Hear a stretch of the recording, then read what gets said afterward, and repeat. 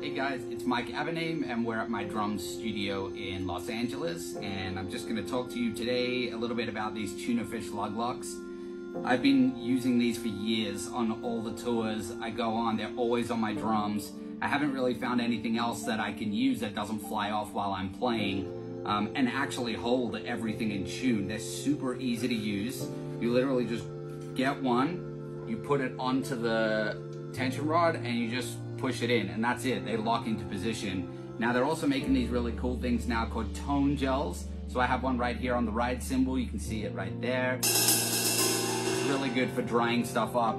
If you take it off, it's a lot brighter and you can also stick them underneath the cymbal if you want to. And that way you can't see them on top and it gives you a different tone. I have one underneath over here.